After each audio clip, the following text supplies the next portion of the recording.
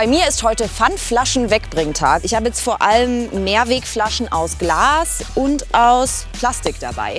Aber was ist eigentlich für Klima und Umwelt besser? Ich meine, bei Plastik denke ich an Klimasünde, aber Glas ist schwerer. Und was hält eigentlich länger? Wir lassen heute mal Glas und Plastik-Mehrwegflasche gegeneinander antreten.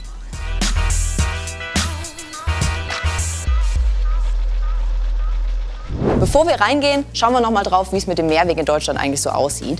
2017 lag der Mehrweganteil bei Getränkeverpackungen bei gerade mal etwa 40 Prozent und Einweg nimmt immer weiter zu. Dabei gab es 2019 ein Verpackungsgesetz und danach sollen es eigentlich 70 Prozent Mehrweg sein. Aber davon sind wir noch weit entfernt. Dabei schneiden Einwegflaschen bei der Ökobilanz fast immer schlechter ab.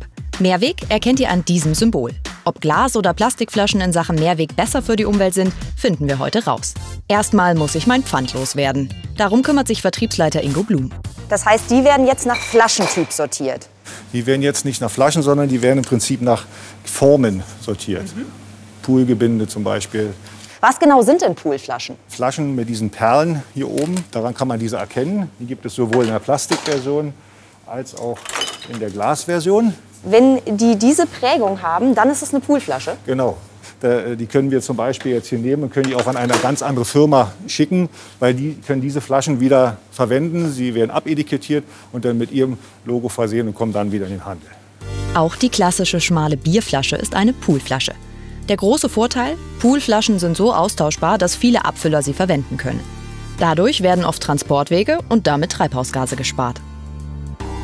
Die Paradebeispiele im Mehrwegsystem sind also zum Beispiel Flaschen mit Perlenprägung oder die klassische Bierflasche. Da gibt es aber bestimmt auch Produkte, die einen weiteren Weg zurücklegen müssen. Oder? Ja, gibt es auch. Und wenn wir schon rein in, äh, national schauen, haben wir natürlich auch Produkte, die aus den südlichen Gefilden wie Bayern kommen. Wir haben aber auch welche, die aus dem Norden kommen. Wir haben aber auch welche, die aus der Region kommen, die also quasi um die Ecke sind. Klar, am Ende entscheidet auch der Geschmack. Aber fürs Klima ist es besser, wenn man das Bier einer lokalen Brauerei trinkt.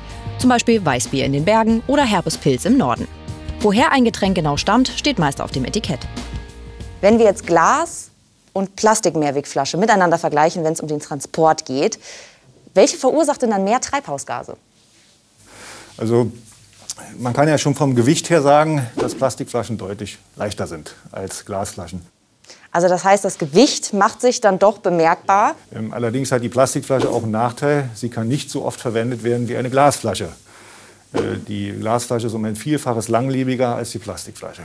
Seid ihr denn eher Team Plastik oder Team Glas? Einweg oder Mehrweg? Hinterlasst mir eure Meinung doch mal unten in den Kommentaren. Übrigens, neben Ein- und Mehrweg gibt es sogar noch eine weitere Variante im Getränkemarkt. Zweiweg. Ja. Ist das besser als Einweg? Nee, das ist eigentlich nicht. Das ist ja eigentlich eine klassische Einwegverpackung. Nur sie wird eben in Mehrwegkisten angeliefert, damit der Kunde eben nicht diese Hülle hat, sondern sie sortiert in einer Flasche hat. Und man könnte die auch in den Sack schmeißen und in die leere Kiste zurückfahren. Das heißt, da nicht irritieren lassen. Das klingt nur gut, ist aber dann doch nicht so gut wie Sehr Mehrweg. kompliziert. Also im Prinzip könnte man das auch in so, so, so einen Schrumpfpack drum machen und als Einweg verkaufen.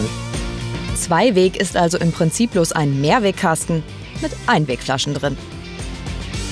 Dass es neben Einweg und Mehrweg auch noch Zweiweg gibt, das war auch für mich neu. Es klingt allerdings alles andere als nachhaltig. Ich nehme mit, wer beim Mehrweg auf Poolflaschen und regionale Abfüller achtet, ist bei Getränken schon mal recht umweltfreundlich unterwegs. Aber schauen wir mal, was mit den ganzen leeren Flaschen passiert. Wenn die Flaschen im Mineralbrunnenbetrieb ankommen, werden sie zuerst sortiert und die Deckel werden abgemacht. Danach geht es in die Flaschenreinigungsmaschine, die wird auch Waschmaschine genannt. Die Glasflaschen werden mit 80 Grad warmem Wasser gespült. Die Plastikflasche hat hier einen kleinen Klimavorteil, sie braucht nur 60 Grad. Vorher wird noch mal kontrolliert, ob auch keine fremden Inhaltsstoffe in der Flasche sind. Wenn die Flasche zum Beispiel als Aschenbecher benutzt wurde, ist es nur sehr schwer, die Zigarettenstummel auch wieder rauszubekommen und dann muss die Flasche aussortiert und zum Recycling gegeben werden. Die anderen Flaschen werden gründlich gereinigt, desinfiziert und dann noch mal ausgespült. Eine technische Nase kontrolliert, ob die Flaschen einwandfrei sind oder ob sie Gerüche angenommen haben. Mehrere Kameras überprüfen jede einzelne Flasche. Ist eine kaputt, wird auch diese aussortiert. Am energieintensivsten ist allerdings nicht die Reinigung, sondern die Herstellung der Flaschen. Welche dabei besser abschneidet, also ob die Glas- oder die Plastik-Mehrwegflasche am Ende nachhaltiger ist, weiß Barbara Metz von der Deutschen Umwelthilfe. Beim Vergleich Glas-Mehrwegflasche und Plastik-Mehrwegflasche, welche Rolle spielt denn dann die Herstellung? Gerade bei einer grünen Mehrwegflasche, ähm, da stecken 90 Prozent ähm, Rezyklate mit drin. Das heißt, es ist eben altes Glas, was wieder eingeschmolzen wird und dann wieder zur neuen Flasche wird. Bei der weißen Mehrwegflasche aus Glas ist es ein bisschen weniger, das sind 60 Prozent. Und bei der PET-Mehrwegflasche, ähm, da stecken 30 Prozent ungefähr an Rezyklaten mit in der Flasche. Ähm, das kann sich aber auch noch deutlich steigern lassen. Auch 50 Prozent sind da auf jeden Fall abbildbar, je nach Flasche. Welche von den beiden Flaschen ist denn in der Herstellung energieaufwendiger? Ähm, tatsächlich ist es so, dass die, ähm, also der Schmelzprozess beim Glas ähm, ziemlich viel Energie benötigt. Also insofern braucht man da viel Energie. Man kann aber eben auch die Glasflasche, und das ist nämlich der Punkt dabei, ähm, bis zu 50 Mal wieder befüllen. Bei der ähm, PET-Mehrwegflasche ist es so, dass vielleicht vergleichsweise etwas weniger Energie für die Herstellung eingesetzt werden muss. Allerdings ähm, ist sie dann auch wieder nur 25 Mal wieder befüllbar und damit gleichen sich die beiden Flaschen an der Stelle auch wieder aus. Angenommen, meine Glasflasche ist beschädigt. Entsorge ich sie dann selber oder bringe ich sie trotzdem zurück? Es ist immer gut, sie trotzdem zurückzubringen, außer sie ist in tausend kleine Scherben zerfallen, dann ist es wahrscheinlich, dann geht es wahrscheinlich nicht. Aber solange sie noch sozusagen als die Flasche erkennbar ist, dann im Pfandautomaten zurückgeben. Die wird dann nämlich dort aussortiert und dann wird sie eben in den Kreislauf wieder eingegeben. Im Getränkemarkt habe ich gelernt, die beste Pfandflasche ist die Poolflasche. Eine Poolflasche kann man auch daran erkennen, das sieht man nämlich hier ganz genau, ähm, hier gibt es diese Ringe. Ähm, und wenn die drauf sind, heißt das, dass diese Flasche schon öfter verwendet wurde, weil die rollen natürlich immer über dieses Band und dann entstehen diese Ringe. Und das ist ein sehr sicheres ähm, Zeichen dafür, dass das eine Poolflasche ist und dass es natürlich eine Mehrwegflasche ist. Also, ich fasse nochmal zusammen. Der Vorteil bei Plastik, die Flaschen sind leichter und sie müssen nicht so heiß gereinigt werden. Aber man kann sie nicht so oft wieder befüllen. Glasflaschen sind schwerer und erfordern beim Reinigen mehr Energie. Aber sie lassen sich auch häufiger wiederverwenden. Glas oder Plastik, schauen wir auf das Ergebnis. Hauptsache Mehrweg. Für mich die wichtigste Erkenntnis, im Supermarkt auf Poolflaschen achten und am besten von regionalen Abfüllern kaufen. Das verringert die Transportwege. Und die Flaschen nicht als Aschenbecher benutzen, damit die Flaschen am Ende auch im Kreislauf bleiben.